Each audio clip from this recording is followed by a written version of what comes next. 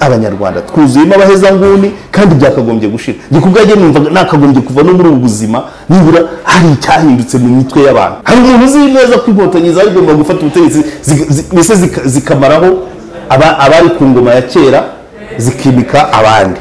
Ibyo ntibyakunze hari abagifite ako gashiha ibyo byose ni ubuhezanguni mayidiya gofandi ijyaho ribu ntiyari ihari. None cyari online none se ubwo karasira icyo cyamunaniye kukivuga. Cyangwa nuko ibisubizo yabahaye batabishyize muri iyo statement. Na byo ni ugukweshoninga ikibazo ni uko ibyo yasubije ribi bitabishyizemo kandi ntabwo ntabwo yacecetse nka ngeze aburana arusha. Oya.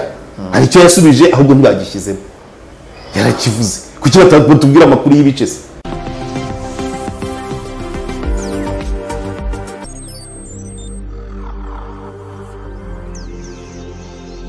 Nongeye kubashimira abakunzi ba Ukwezi TV abantu mwese mudukurikiye kandi mukora ibiganiro bitandukanye tubagezaho. Aho waba uri hose eh, ndagusuje kwifuriza no kugira ibihe byiza. Uyu munsi turi kumwe na Karegeya Omar Jean Baptiste ni umunyamakuru ni umusesenguzi. Eh, ntabwo ari ubwa mbere aje ku Ukwezi TV ndetse no kuba atari ubwa mbere biri mu mpamvu zitumye agaruka kubera ko mu minsi ishize twagiranye ikiganiro aho yavugaga ku kuri karasara ya mabere ndetse n'ifungwa rye. Ngira ngo twabonye ibitekerezo byinshi bituma twifuza kongera kuganira nawe. Yego. Eh, no kuganira ku bintu bimwe abantu bagiye bavuga hari ibyo bavuze bati karasira eh, Na- na- kwirengagiza nta kibazo cy'uburwayi afite nta kibazo cy'ihungabana afite ahubwo ni we ugifite cyangwa se eh, ngira ngo nawe barazivuga nabinyuzemo byose nabinyuzemo byinshi. Eh, wenda watubwira muri make komantere wazibonye Ura- murakoze no kumpa uyu mwanya Eh, ku banyarwanda bose. Kesi ya karasira izasiga isura y'ibiri mu mitwe y'abanyarwanda igiye hanze yose. Cya kabiri abanyarwanda impande zose zirimo abahezanguni. Narabibonye. Eh, nabibonye eh, abavuga bati se wibona gute kutari kutari psikologe Eh, ubwo tuzategereza abapsikologe kugira ngo ibibazo biri mu miryango yacu tu- umuntu uta- umuntu utari muzima n'utari n'umuzima byakunanira kubireba. Abantu rero abo bahezanguni benshi bashaka ngo ibintu njye bivuga uko babishaka. Njyewe ntabwo ndi ntabwo ndiho ntawe nkorera njye ndikoresha urabyumva? Iyo mumpaye umwanya nk'uku ngomba gutanga umusanzu wanjye. Nta muntu n'umwe nkorera. Ntegereje pansiyo yanjye. Nakoze amezi makumyabiri n'abiri. Urabyumva? Imyaka imyaka makumyabiri n'ibiri. Ni ukuvuga ngo ubwiteganyirize bwanjye buri tayari ni ikibazo cy'imyaka cumi n'umwe isigaye ngo mbone pansiyo yanjye. Umuntu wese utekereza ngo nkorera runaka umuntu wese utekereza ngo ndaruma mpuha se wamenye iki se ubundi? Iyo tewe ukwezi ukwezi tv kutampa mikoro hari ikindi wari wamenye ngomba kukuvugira. Kuki ushaka ko mvuga njye nizi ikinyarwanda. Iyo mvuze ngo urugamba si ubukwe hari icyo bisobanura? Ni ngombwa nyine ngo ntabwo mpari pour culpabiliser groupe ethnique cyangwa se système ngo nyitirire ibyo ntemera. Sibyo ntabwo ari ukuvuga ngo njya kuri mikoro mwantumije Njya- ntabwo njya kuri mikoro kugira ngo ntumikire kanaka uwo ari we wese. Mvuga ibindimo uko byambayemo kuva na kera. Abanzi baranzi. Abanzi baranzi na mbere ya mirongo cyenda urabwumva iby'ingoma byo kuvuga ngo aravuga ibi no. Ingoma eh, ingoma ya habyarimana yanyigishije segonderi. Ya fpr inyigisha kaminuza.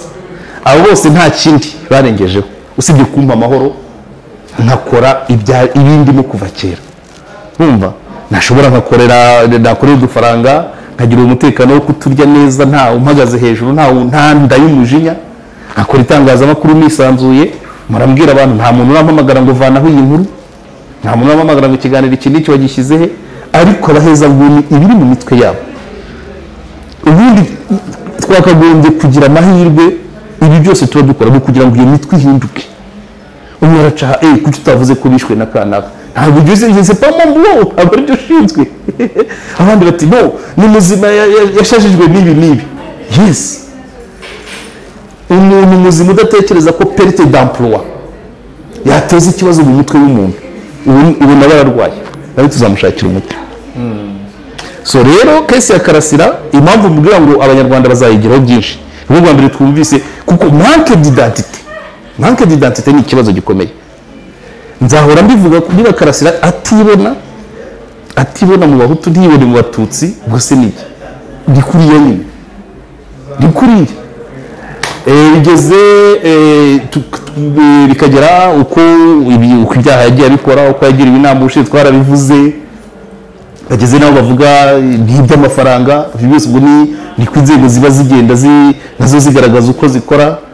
Byose gushyira hanze babonye amafaranga ya n'aya ntavuga ibyo byose ntabwo yagezeho ngo abikirage hari ibyo yabasubije nuko bo batabivuze. Reka dutegereze niba dosiye yagiye mu bushinjacyaha eh, umushinjacyaha ashobora kuzayigeza mu rukiko buriya mu rukiko na karasira azavuga byinshi. Ariko abanyarwanda ukuri kw'ibyabaye mu rwanda ni kumwe ariko abantu bagira kwinshi kubera inyungu babifitemo.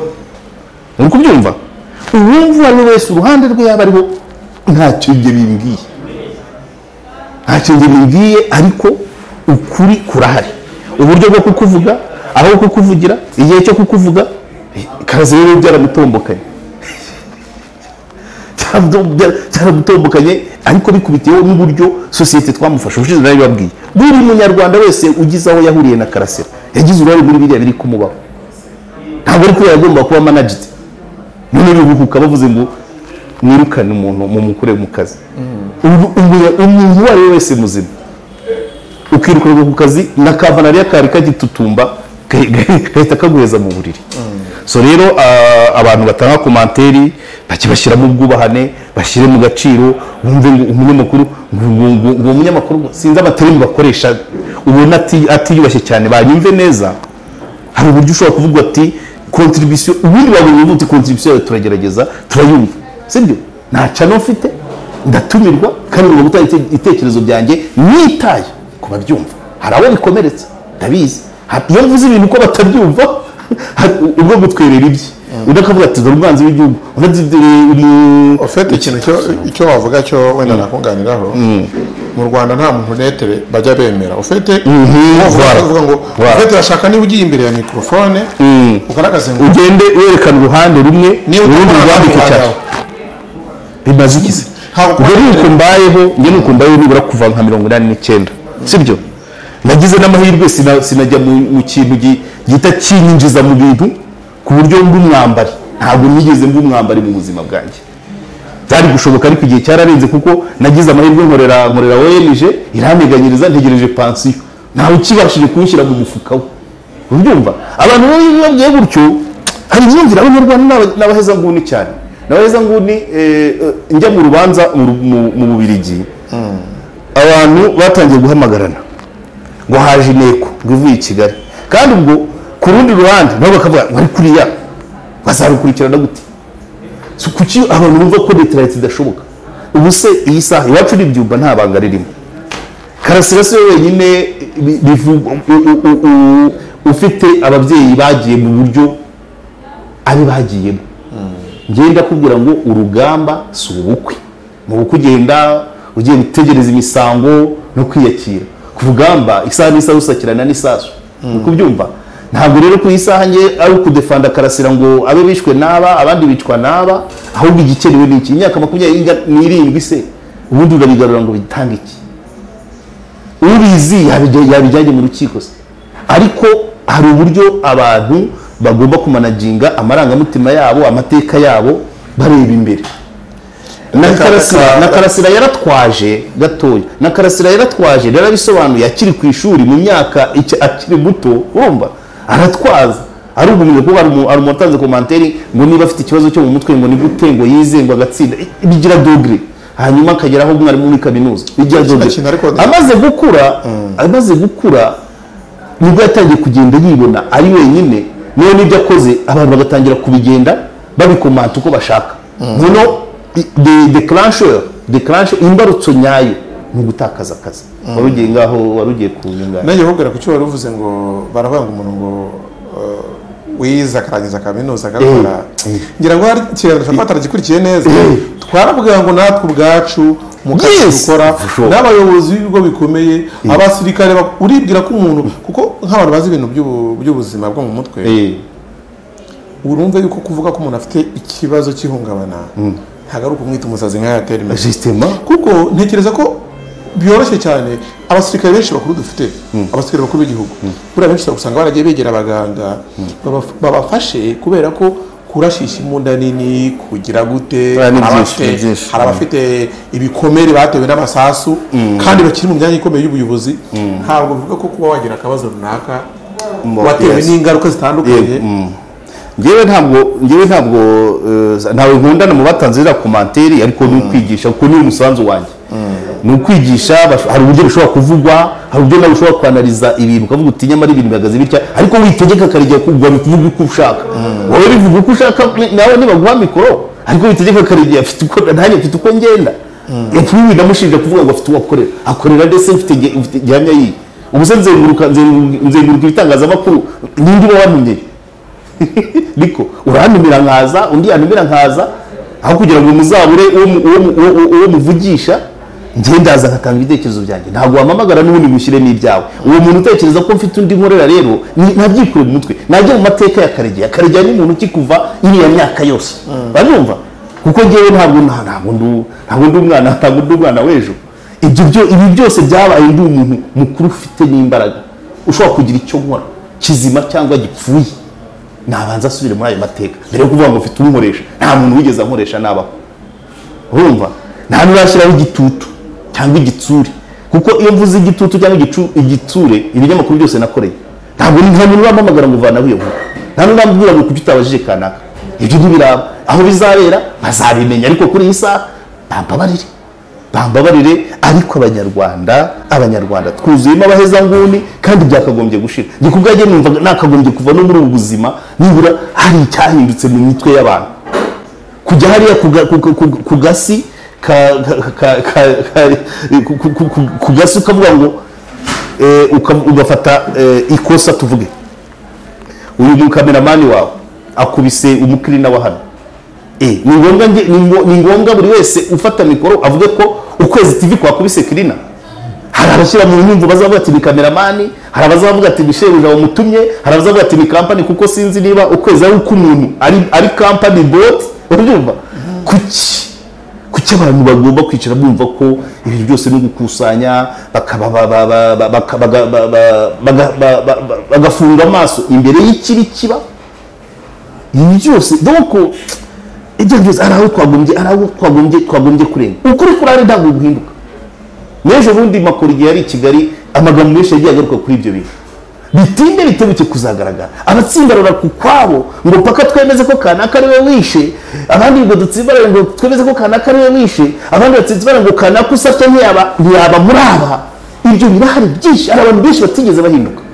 Hari abantu benshi batigeze bahinduka. Buriya kesi ya karasira rero impamvu ishyuha ishyuha ni uko ageze ku rwego rw'uko eh, ashinja abishe abishe ababyeyi be ko bari mu bagombaga kubakiza.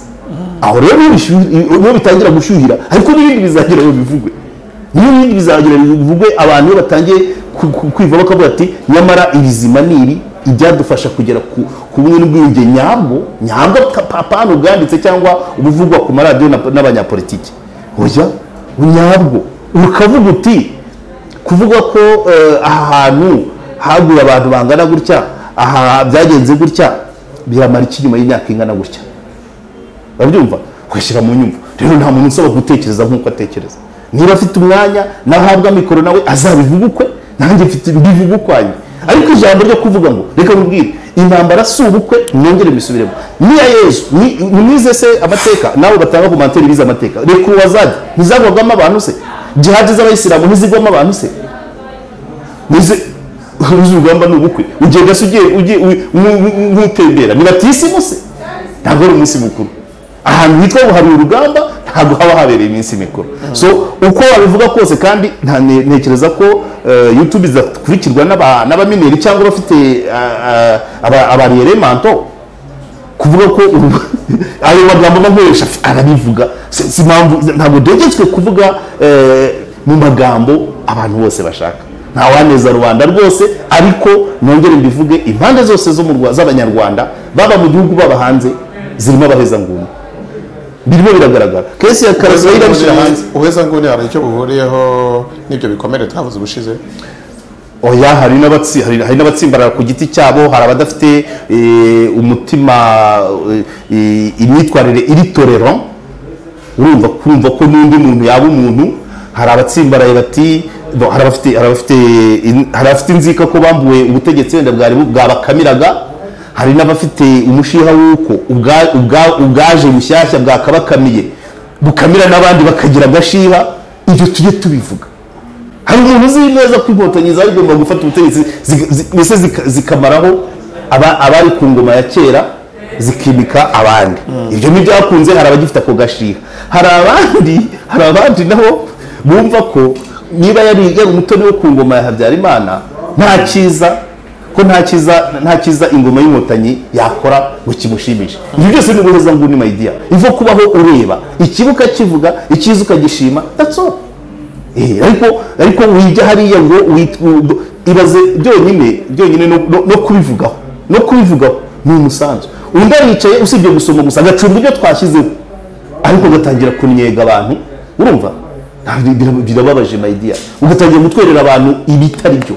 Utabanje gusoma umusome ntagenda akurikirana amateka y'uwitwa karegeye urabyumva kuva muri iyo myaka navuze n'iya vuba muri bibiri kuzamuka kuzamuka kuzamuka.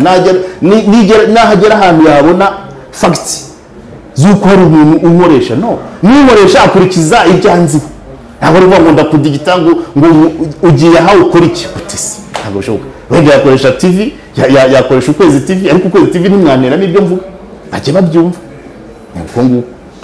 Eh, hanyuma eh, uko nuko uvuze cyangwa se usobanuye ku wenda ku bitiranya karegeye ariko se hari igihe umuntu bamuvugaho ibintu muri komantere akaba yanacika intege ati ntabwo nzongera kugira ikintu mvuga. Tanzania Nanjye- naba muri abo se?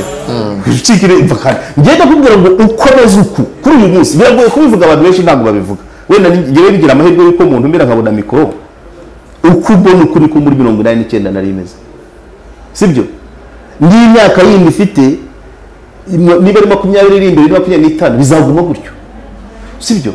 Nta kidasanzwe bica intege juve bya ariko se ibira byo kuri youtube byo ntabwo bica intege cyane. Ibintu bitangira guca intege njya numva hano mu rwanda bitarambaho. Ni ibyo byo kukubwira ngo kuraho inkuru ni ibyo byo kukubwira ngo harya wowe ngo uri ngo uri iki ngo ukorera nde? Ni ibyo byo kugutegera mu nzira ni ukugukurikirana na moto. Ni ukuguhamagara gutera ubwoba njye ntabyo ndabona. Nta birambaho bizaza nyuma nzabivuga. Ariko kuri iyi saha nta na kimwe. Ubuze nacika intege ziki? Z'umuntu wo kuri youtube komenteta ubu gutanga komantere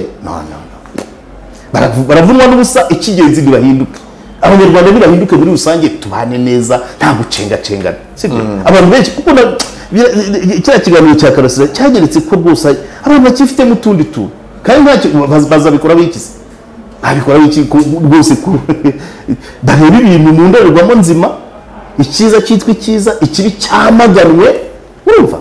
Cyamaganwe nta kindi. Aho gu- gu- gukomeza kwihisha mu- twenda mu twenda dushaje urabona ko na leta na leta yamaze kuvana ibintu bijyanye n'amoko ariko abantu muri mu mitwe yabo baracyari aracyari ku ngoma aracyari ku ngoma ya mirongo irindwi na gatanu kugeza icyenda kane. Ntabwo bishoboka. Ariko igikozwe nabi kivuga. Kandi nta gihe tutanabivuze. Nta gihe tutabivuga ikiganiro twabanje gukorana urabyibuka dukora ku bijyanye n'imicungire. Iyo mvuze imicungire mibi se nkavuga ko duteri jenerali amaze imyaka icumi akora raporo abantu barya. Biba bishatse kuvuga iki? Ni ngombwa se mvuga ngo wabatumye ni burya? Ariko umuntu navuze ngo umuntu niba akora amasoko kuva bibiri na cumi ayasiga adakayakoze neza. Ukomeza kumuha akazi nawe ari mu makosa. Ni ngombwa se mvuge ngo ni iri zina ngo ni sisiteme runaka ngo kamere ubu ubishaka yabivuga uko ashaka ariko ubwo mba navuze. Ntabwo nzacika intege rero. Muhumure ubu se tuvuga kuri kesi ya karasira eh, havugaga ku cyaha kijyanye no guhakana jenoside ndetse n'icyaha cyo guhembera amacakubiri. Urwego rw'igihugu rw'ubugenzacyaha rib rwatangaje ko harimo n'ibindi byaha bishingiye ku kutabasha kugaragaza inkomoko y'umutungo. Mbere na mbere ukibyumva wigeze kumva ubivugaho gake uvuga uti twabyumvise igice. None icyo icyo nshaka kukubwira bo icya mbere cyo urwego rw'ubugenzacyaha turarwubaha ubushize narushimye mu buryo muri akompanyuma rwakoreye karasira ariko ntibisanzwe ko elema zigize dosiye y'umuke- ukekwaho icyaha ziba randi public zishyirwa muri rubanda. Biriya bigira ingaruka. Urashaka ku- kumvisha rubanda ko deja karasira yabaye umunyacyaha. Kuko ibyo muvuga ari byose urashyira hanze. Urabyumva? Uremfuriwansa umushinjacyaha uzafata dosiye. Umushinjacyaha uzafata dosiye wamaze kuvuga ko karasira rubanda azatinya rubanda. Na ribu yamuhaye dosiye kandi yamaze kwerekana ko karasira afite ibimuhama. Umushinjacyaha ayijyane mu rukiko. Umukiko uzayakira umucamanza uzayakira nawe avuga ati ese ko rubanda izi ko karasira amafaranga atunze atazi aho yavuye. Yavuze yagize kubera ko byageze mu baturage. Kugira ngo bisobanuke neza Eh. ku rwanjye ruhande numva ribu yaravuze ibyaha ashinjwa kongeraho ikindi kuvuga ikindi kiyongeraho. Kereka n'icyo na byo utemera ari detaye na byo reka bo kubera ko ibanga ni hari ahandi nabivuze. Na ribu yagombye kwisura ikavuga ngo n'iryari n'iryari igaragaza ukekwaho icyaha n'iryari igaragaza ibiri muri dosiye ye? Kuko bya ara limiti nta bindi by'amategeko njyamo ni logike yanjye urimo urefluensa public kwanga karasira. Anabaye umwere abantu byo barama- abamaze gusoma biriya bavuga ati nyamara uyu nguyu ni we wundi utunze amafaranga atazi aho ava. Kubera iki? Wabishyize wabihaye public mbere y'uko bigera mu rukiko. Donc dosiye ya karasira eh, rubanda iri kuyimetiriza. Itaragera ku mushinjacyaha itaragera ku mucamanza. Ubwo bamaze kuinfluence izo nzego zizayifata nyuma. Icyo ni cyo cya mbere. So rero kuvuga ngo bagize ibyo bongeraho donc kuri ribu icyo mvuga cyagakosowe ni uku- ni ukuvuga ni ukugaragaza amategeko bagenderaho bavuga ngo kanaka tugiye kumwereka itangazamakuru yambaye amapingu kanaka tugiye kuvuga ibiri muri dosiye ye itarajya mu bushinjacyaha bakagombye kugerageza sinzi niba babyemererwa n'amategeko bakavuga ati itegeko iri niritwemerera kugira gutya duhereye kuri iki n'iki. Ariko buriya nawe ujya ujya gufotora ngo bafatiwe muri covid. Ntabwo rero bafashwe ijoro rimwe. Bahitamo bate? Abereye ku itangazamakuru ibyo byose rero n'inzego mayidiya n'inzego hari ibyo zigomba gukosora. Abanya- abanyarwanda barareshya imbere y'amategeko nk'uko constitution ibivuga. Si no kuvuga ngo ntisemotewe kubera ko yambaye imikara mweretse media uri mu- umukobwa udefirije neza ndamwihoreye. Umuntu oya byagombye kuba kuba ku murongo umwe. Hagenderwa ku ki ngo hakorwe iki n'iki? Ariko biriya byo biri gukorwa. Ni influence inzego zizabona dosiye nyuma. Ariko ribu ngira ngo ivuga ko akekwaho ibyiyongereye. Ntabwo bagombye kuvuga ibiri muri dosiye ariko. Iki mwese abantu bose abantu bose niko ama- amadosiye yabo yatugezeho. Yaje muri public. Mugabe robert ni we yigeze kuvuga ngo hari uburyo bwo gushaka guca urubanza gu- kwereka rubanda ngo imenye urubanza cyane ku buryo noneho n'uzakora kuri iyo dosiye nakora ibyo ibitandukanye n'ibyo rubanda yamenye babone ko ahubwo uwo muntu ari ufite ikibazo. Ibiri muri dosiye ni ryari biba disclosed kuri bande bitewe n'iki? Iyo agenda niyo tutari kumva. Kuki bya karasira ibyo byose bigomba kujya hanze? ni- aho rero bigomba gukosorerwa. Naho kuvuga ngo babanje kuvuga ibi n'ibi babanje kuvuga ibi n'ibi muri ribu haba hariho icya kabiri buriya. Abaparedinga bose ni abo muri kigali. Iyi huye bigenda bite? Iyi rusizi bigenda bite? Please niba rero umuntu aketsweho icyaha abaye pareded undi arabi- ara- abikiwe ibanga gute? Nigeze kujya bwa mbere njya kuri muri ribu komantere za ya nkuru Eh. eh, z'abapolisi Eh. bambaye sivili bakubise umuntu nabonye komantere abantu benshi kuri twitter baravuga bati abo bantu mu maparedinge nabo abapolisi no mu maparedinge Wow. nk'uko n'abandi bantu bigenda reka nguhe urugero paredi eh, paredingi ya mbere ribu ikimara kugera kimihurura nagiyeyo eh, hafashwe abantu bane bavugwa mu kugura sitasiyo ya esanse mu buriganya. Batwereka umukomisiyoneri n'undi mu- n'undi mu- mucuruzi ukuzemo ngo wari wivanye mu cyamunara. Babereka itangazamakuru manza nawe wari uhari. Basiga basiga uwari waguze basiga na na risiva wisiyengeramo wa banki icyo gihe barabitwereka. Abo bantu babiri batweretse bose nta n'umwe wafunzwe uwo musaza w'umucuruzi we yahise nyuma nyuma yari ariko yaritahira eh, umukomisiyoneri nawe araburana aratsinda. Kubaparedinga ibinyamakuru byose byahise birerekana abari aho twari twuzuye sare ku bwa modeste mbabazi. Iyo uparedinze umuntu ubundi presumption d'innocence wayishyize hehe iyo umuparedinze weretse rubanda ko ari umunyacyaha. Kandi iyo abaye umwere ntiwongera kuvuga uti iribu yarekuye kanaka kubera ko yabuze icyaha. Ntabwo ushobora kuba uri gukoresha Eh.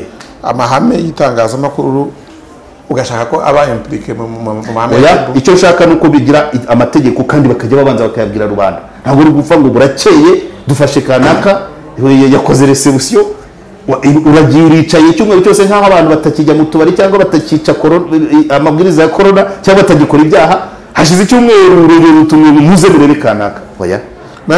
Hagombye kuba iniformite abantu barareshya imbere y'amategeko. Ku- ku- gukoresha imbere y'amategeko. Ayo mahame yose niyubahirizwa niba hari ibyaha runaka bavuga ati ukekwaho iki we yemerewe kwerekwa rubanda ibyo nta kibazo. Bakavuga ati dore itegeko ryacu rivuga ko ukoze iki n'iki we tumwereka rubanda. Niko byakagombye kugenda. Ariko niba njyewe ndi umunyamakuru nkaba ntazi ibigenderwaho ngo bahitemo berekana n'uwo bavugira ama ibyo nari mvuze byabaye no ku mukozi wa ribu ushinzwe ribu mu karere ka rusizi ngira ngo avuga ati uwo muntu mumutwereke nawe abanyamakuru bamubaze nawe bamuparedinge bimere nk'uko bigenda Baramuberetse? niyo bari kumubereka mubisabye abandi abandi mubabona nta mutabisabye. Ibyo bintu bigomba ega bigomba gucika amayidiya buke buke. Abantu niba bareshya imbere y'amategeko ntibakorere bimwe. Kuko umuntu werekanye presumption d'innocence wayishe yabaye umwere ntuvuga bamaze kwereka rubanda ko ari umunyacyaha. Niba bakubonye kuri televiziyo uparedinga ko wambaye ipingu biragoye kugira ngo winjire mu kabari bahita baguha icupa zahita bavuga ati uyu muntu araturutse kubera iki se? Oya. Bagerageze niba amategeko. Ahari bayasobanurire abaturage. Nanjye niba ndi umunyamakuru nkaba ntayazi. Ubwo ni ikibazo. Bayasobanure bavuga ati ku cyaha runaka umu- umu- umuntu wakoze iki n'iki? Ukekwaho bene iki arerekanwa ukekwaho iki arerekanwa aho afatiwe. Kuko hari uturere tutaragira n'umwe twerekana ndakeka. Eh, hari uturere mbese ribu zo mu turere ni uko nta banyamakuru babayo se aya ntabwo ari byo ntabwo- umuvugizi umuvugizi ugomba kuvugira urwego ab'i kigali. Niba itegeko rivuga ko aho umuvugizi ari ariho berekana ntabwo rwigira ibindi bintu uvuga. Itegeko rya ribu niba rivuga ngo aho umuvugizi ari ni ho twerekana. Twazongera tugasaba nk'uko twasabye abavugizi muri polisi bakaboneka mu ntara na ribu mu ntara zikagira abavugizi. Ariko niba itegeko ribemera guparedinga umuntu wese bafashe. Ntabwo mu ntara bajya baberekana. Nta kibazo. Icyo dukeneye ni clarite ni umucyo mu kubikora. Kugira ngo ejo hatazagira abitwara abitwara kuri kanaka umuntu abaketswe ni benshi bamaze gukekwa abagera muri ribu ni benshi ariko abaparedinze ni bakeya. Kubera iki? Babahitamo bate? Sibyo? Dufatikanye dufatikanye. Ntacyo mpfa na ribu. Ariko dukeneye ibintu bifite icyo bigenderaho. So kesi ya karasira urumva yabaye yabaye yabaye akandare nyine. Aho dosiye yose bayishyira hanze n'akandi kantu kose kajemo bakagashyira hanze. Urumva. Hari abantu muri bushwane buje umwuga w'abanyamakuru bavuga ngo urimo urashaka yuko ikintu bita access to information law. Uburenganzira bwo kubona amakuru. Ku banyamakuru ushaka kubura imito ushaka ko bugabanuka kutatwereka bariya bantu ntabwo ari ukutwima amakuru. Uriya navuze ngo babatwereke bose. Umuntu wese wakiriwe na ribu agiye muri midiya bikora kuri umwe ntibagera ku wundi ngo baceceke. Ni icyo ngicyo cyonyine mu mu- mu magambo make. Kuko njya mbona abatanga komantere bas- basomye igice ngishaka ko ibintu biba iniforume niba abanyarwanda bose bareshya imbere y'amategeko ntawe nta muntu ukekwaho icyaha wemerewe kujya imbere y'itangazamakuru n'utemerewe kurijya imbere. Bavuge ngo ba- ntibamese kamwe. Either baberekane bose cyangwa se babahishe bose tujye tubabona mu rukiko.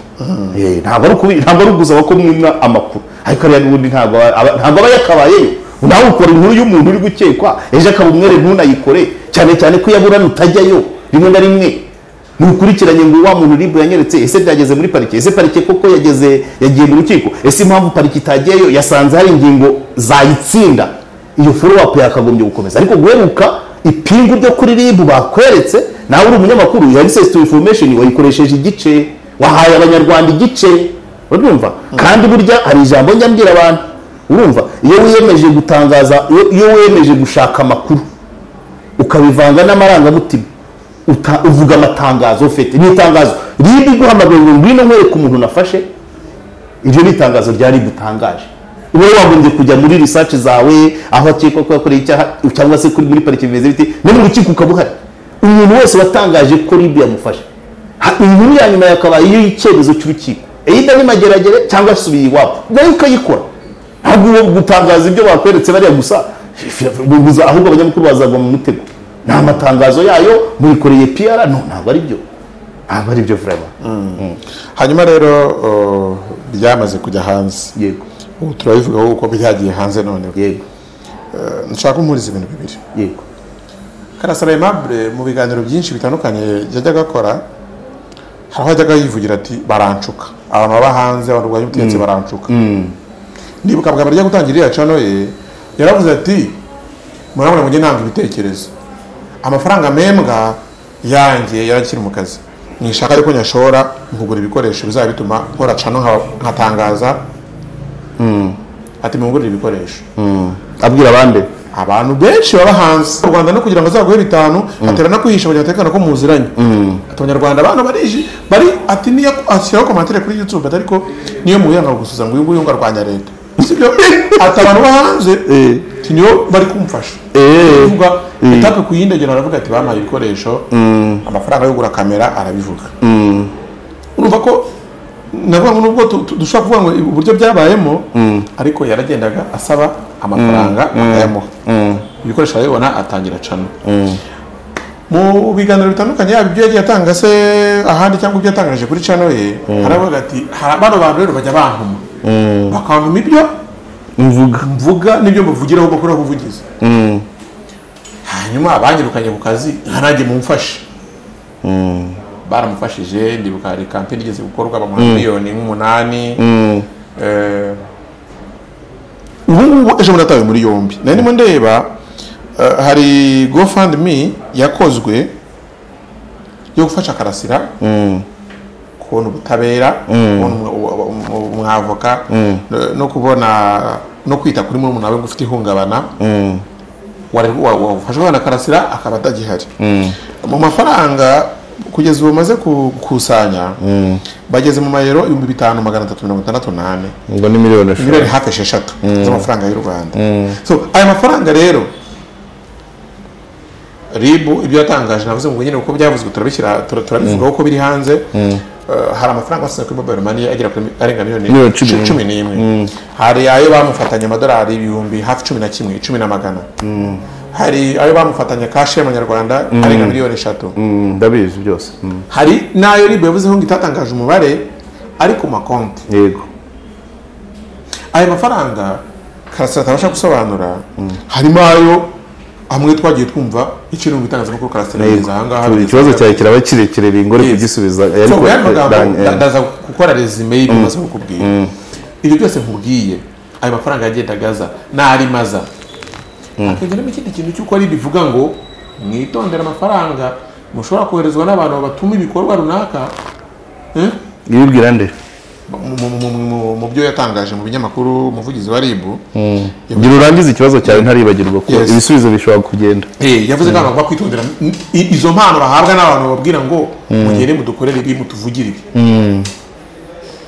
So, mu yandi magambo amafaranga mu by'ukuri ni ntayazwi byinshi buretse burya ikibazo cyawe ntabwo ari amafaranga gusa ndakigeraho nyuma. Watangiye utarashukwa. Mwarimu wa kaminuza arashukwa. Biragoye. Umuntu ufite sitati yo kuba mwarimu wa kaminuza ngo baranshuka bagushuka bafite iyihe kosi ya intellectuelle icya kabiri yabasabye kugura kamera. Uw'ukwezi wari wagufashije kuyigura? Icyo ni ikibazo. Nuko wenda ya- yabasabye kubera ko atashaka gukora eh, atashaka gushora ye mu byabo. Yari ati amafaranga mpembwa y'umushahara wanjye sinajyana mu namwifuza Eh. ko nkora cano nimunamfashe kubikora yego. Noneho rero bakamutuma. Hanyuma rero icy'amafaranga ntabwo ntabwo mpamya ko statement- statement ya ribu ntabwo yuzuye. Ntabwo wambwira ngo yayobeye inkomoko ese koko? Babonye ariya mafaranga Utabasha- kugaragaza inkomoko ariko ntabwo asobanura muri rib ibyo ngibyo mayidiya ntabwo imitungo bayisobanura muri rib. Wenda babonye data z'uko eh, afite amafaranga ariko si impamya ko rib yagiye kwa karasira bari kumwe bakamubaza akabura icyo avuga. Vendera aravuze ati "Ni- ibyo so wowe kubizi se ko eh, gofandi ijyaho rib ntiyari ihari n'ubu iracyari online none se ubwo karasira icyo cyamunaniye kukivuga cyangwa nuko ibisubizo yabahaye batabishyize muri iyo statement na byo ni ugu- ni ugukweshoninga nturebe uruhande rumwe ndabizi ribu ni abahoze ari abapolisi harimo n'abasivile nawe wagira ubwoba nanjye nawugira ariko ntabwo ntukamenya karasira yabuze icyo asubiza namba kuri ariya mafaranga yabuze kuba yavuga ati izi miliyoni eshatu nagomba kuzigura ikibanza i karama kuri noruveje yabuze ikivuga kiti "I- aya- izi senkisayero nta ibihumbi magana atanu niba urayarengeje ni urugero. Kuvuga ati aya na yo agomba kurihira wa mwana ashinzwe. Kuki batagaragaza icyo icyo icyo karasira yasubije kuri biriya by'amafaranga? Irambude kuvuga ariko ibyo uri kuvuga ni ibyo kuyakoresha. Ntabwo ari inkomoko yayo. Inkomoko na yo nabonye ntiyaje muri komantere abantu benshi kuko bavuga bati atavuga na gofandi se eh, ni ibyo atavuga youtube channel se. Kuko atavuga imperekeza zo muri ur akamenya karasira ko uzi ko ahora avuga. Ya buri kintu avuga ko ariya amafaranga. Nka muri komantere nabonye bavuga bati kuki iri bitumva yuko amafaranga ari ayo yakoreye rero umwarimu ko nta bana afite ntabizi ntabwo yabura icyo avuga. Ntabwo mbonye simbizi aho aho yayavanye ariko ntabwo yabura icyo avuga. Icyo ikibazo ni uko ibyo yasubije ribi itabishyizemo kandi ntabwo ina- ntabwo yacecetse nka nka ngeze aburana arusha. Oya. Hari icyo yasubije ahubwo ntibagishyizemo yarakivuze. Kuki batubwira amakuru y'ibice se? Ese yara- yara- barabazaga ngo ibihumbi magana atanu byari iby'iki ce izi miliyoni eshatu zari iz'iki ce cyangwa ni ayandi. Aya.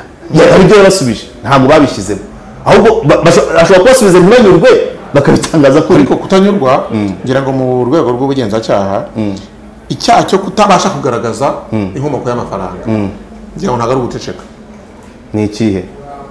Uramutse kutanyurwa n'ibyo ba- n'ibyo udatanga yababwiye ibisobanuro kuko urugero urugero ushobora kubaza aho abaye yaravuze umva ariko tujye tuba abantu nanone abaye yaravuze aho ayakomora.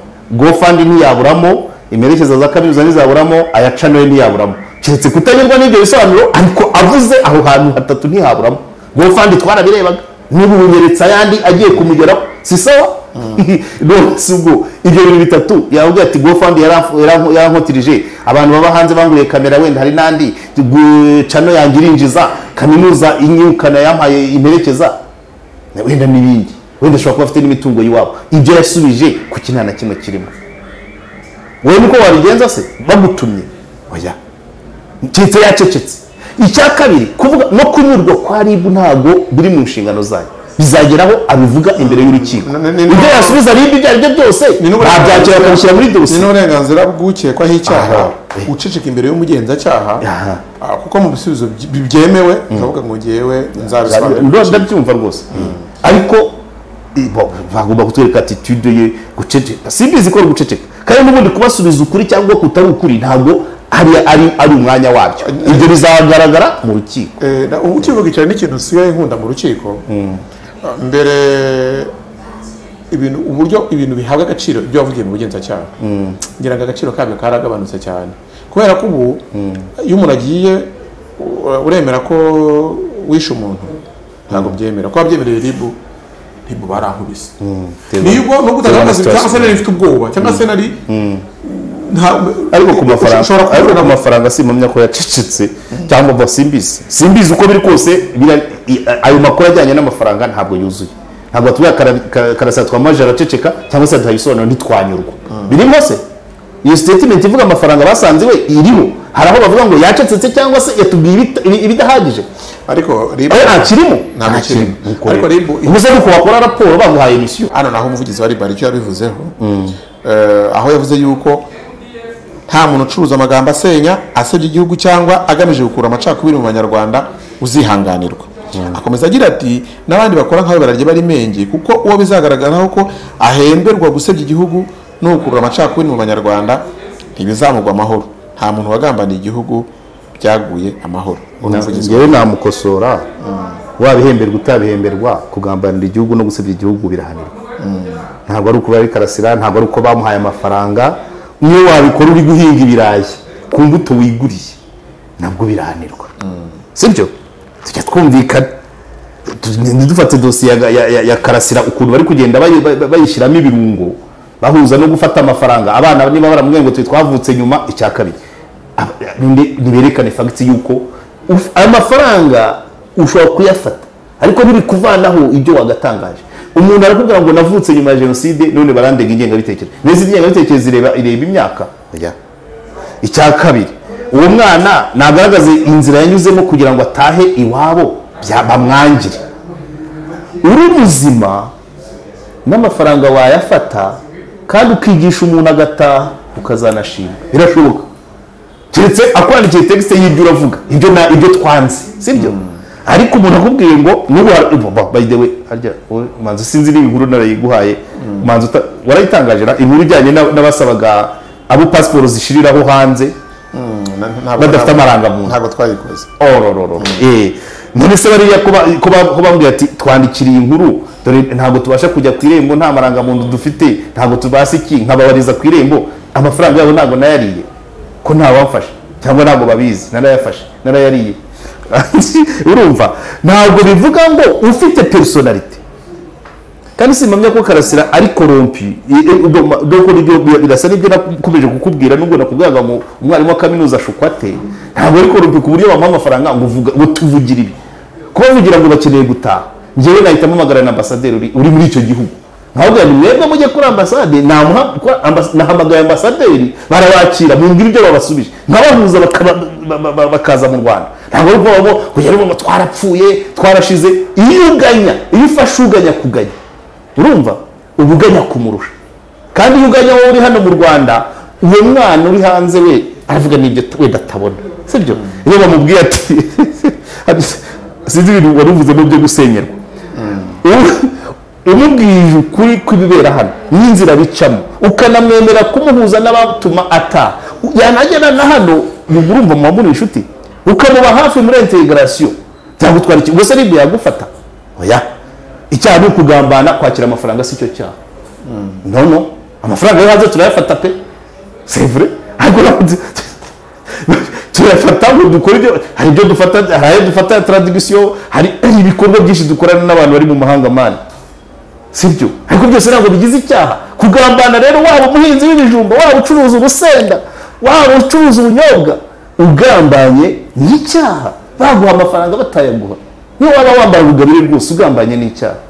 Eh, ntabwo rero karasira byabaye icyaha kubera ko abona amafaranga y'abamubwira ibyo avuga. Oya nako avuga ibisebya igihugu yaguzwe ariko yaba ataguzwe yaba ataguzwe byaba icyaha. Uwo ari we muri komantere y'inkuru wabona ese mbona ati ko muvuga ngo ni amafaranga akomoka ku cyaha icyo cyaha na cyo kiri mu byo mumurega kuki mutagise mu byo mumurega cyo gusebya igihugu se ba- ariko bavugagamo amacakubiri bakavugamo ya niba bamudigise bati bivuge gutya abigoreke cyangwa se abivuge uko abyumva? Ntabwo iby'amafaranga byo ntibiveho uko icyaha kiba cyakozwe. Habamo amafaranga atabamo. Oya niko bimeze. Ngewe ibindi kuvugira aha ngaha uko bimeze urabyumva? Naba nishyuwe nanjye nivugamo icyaha ba- bazaze nta kibazo ariko ntabwo bivuga ngo amafaranga ntabwo ariyo akigize icyaha ahubwo ahubwo mu myumvire ni uko wenda buriya ni cyo nkunda kuvuga. Nkunda kuvuga ngo igihe amategeko y'u rwanda aba ahari. Asa n'aryamye adasinziriye akazamukira kuya kuya kuyashotoye. Niba niba karasira yavugaga agambanira igihugu cyangwa atanga isura mbi y'igihugu ntabwo byagombye kwita uko babonye ko afite amafaranga adafite aho akomoka. Bagomba kuba baramufashe kera. N'abandi n'abandi bahora bafatwa. Sibyo ariko noneho byo kugira ngo uwashotoye amategeko cyangwa se kamere muntu yo kurwanya umuntu ugira icyo yinjiza burya abantu ntabwo rwanda yishimira kuba batazi icyo ukora.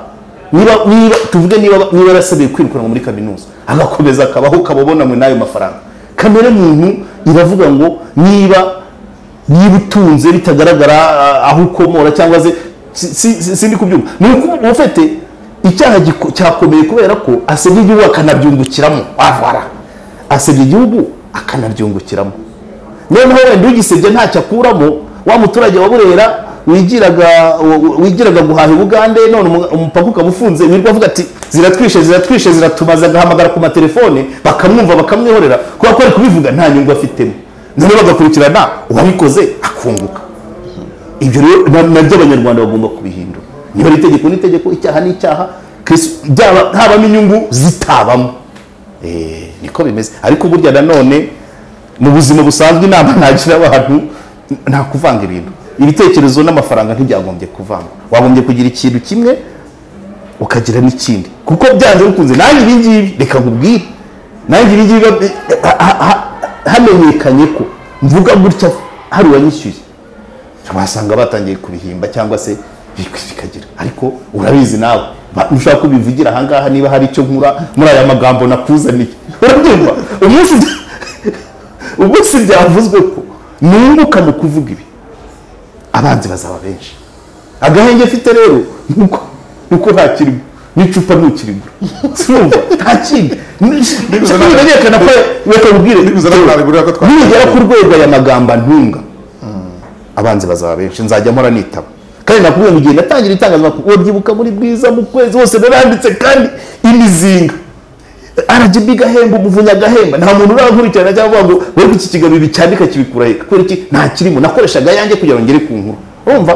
Niba mfata makumyabiri umugore yahembwe nkajya kuri tele nkazana inkuru umutegetsi mvuze nabi agakuri- bagakurikirana bagasanga ahubwo nakoresheje ay'umuryango wanjye aho kugira ngo ngire impemba ngo mbivuge. Icyo gihe na- nari baba ari sawa. Ariko nibitangira kugaragara ko mvuga nishyuwe. Aha. Ibyo urumva bizaba bibi. So rero ni kame- ni kamere muntu ni kamere muntu iyo bari kubona iyo hatangiye kuza inyungu mu bintu byiza cyangwa bibi ukora ababirwanya baraboneka. Niko bigenda. Mm. ibyo ni ibisanzwe abantu bajya babyumva. Mm, dutangira ikiganiro uh, karajya yavuze ati iyi dosiye ya karasira aimable izavugisha benshi. Iza izatuma bimwe bijya ahagaragara izatuma hari abizatuma bavuga ibyo batari kuzavuga hari inzego zatuma zikora amakosa bitagombaga hari byinshi bizavu- donc irimo iravugisha abantu kugeza igeze mu rukiko uzaburiya mu rukiko ubwo bazajya baba buzuye. Kandi nawe hari ibyo azavuga icyo gihe. Kubera iki? Yarirenganijwe nta munyarwanda. Nta munyarwanda udafite uruhare ndabizi ko hari abavuga ngo- ubushize naravuze ko afite ikibazo cyo mu mutwe. Abantu barabyirengagiza bamwe batangira bavuga ngo ntacyo ngo nta hungabana yigeze ahura naryo. Ariko uko uko biri kose abanyarwanda twese ari ukudaha agaciro iryo hungabana rye urireba urirebera. Ari uku- kumureba uka- ukagira ngo uri kumwe n'umuntu muzima kandi umuntu yarangiritse ukabirebera. Twese tubifite twese tubifitemo uruhare inzira rero biri kuganamo ubushize rero nakubwiye ngo habaye amahirwe nuko nuko eh, nuko wenda nk'umucamanza yareba kure agahita avuga ati ariko uyu muntu mumumpera amezi atatu aganira na na psychologist. Amezi atatu cyangwa niba mu kwezi mukomeze mumufunge ariko psychologist amusure amusure aho afungiye. Babanze baganire. Azaze mu rukiko ari muzima kuko nibaza ko umucamanza nawe atapfa kwemera ku- kuburanisha umuntu yamaze kubona ko afite anomali kelkonke ariko ku- kuvuga ku- guhabanya n'ukuri mu- idosiye ya karasira. Bizatuma n'imyanzuro doko bigera ku myanzuro n'ubundi idakwiye ariyo izamujyana ahandi bimwe navuze ko tuzaba tumuhombye. Niko bimeze. Kubera iki? Uburangare abantu ku nyungu zabo badashaka byinshi cyane impamvu nyinshi ziri gutuma dosiye ye iravugisha abantu benshi ko bira- bira- biragoye kubyumva. Biragoye kubyumva hari n'abakabivuze neza batinya kubivuga hari ababivuga bakabigoreka ibyo byose rero bizatubuza twese tuzirengera ingaruka. So, reka dushimire karajya jean baptiste omar ku mwanya yaduhaye ndetse n'ikiganiro tugiranye. Nshimire buri wese kandi wafashe umwanya kugira ngo akurikire iki kiganiro. Nshimire n'uzafata umwanya agatanga ibitekerezo. reka nsabe hari umuntu ndetse kuganira amubwiye nti nsabe bazaduha ibitekerezo badatukana ati ntibishoboka badatukana ntibishoboka bagomba guhinduka man bagomba tuzagerageza yari ingabire marie makire arambwira ati ndabizi bazatukana ariko nta kibazo tuzantuka